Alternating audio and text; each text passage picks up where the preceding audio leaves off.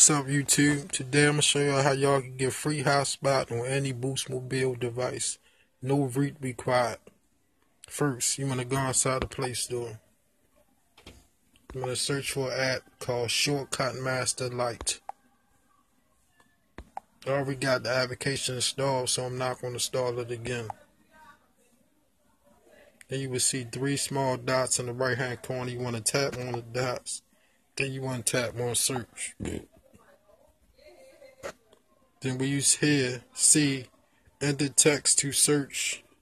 You want to tap on that, then type A, P, N. This should give you a bunch of APN settings. Then you want to scroll down to where it says settings. Dot com Android settings settings APN settings activity.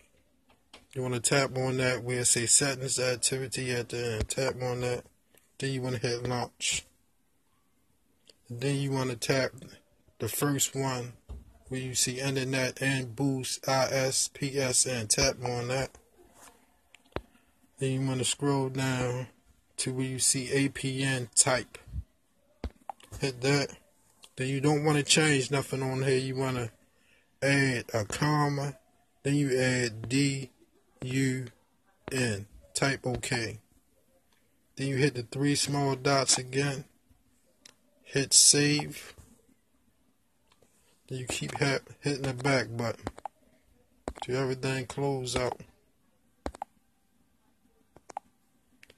Then you should have hotspot. Go inside your hotspot. Have my mobile hotspot. And voila, free hotspot. Um, this should work on any Boost mobile device, no root required. Now, I don't know if it works on a Marshmallow, new Marshmallow update, but I do know it works on Lollipop. Because I got this on the G Stylo and the Boost Elite Warp, and both are not rooted. If y'all need any help with this, hit me in the comment box, and I will try my best to help y'all the best way I can. Thank y'all for watching this video.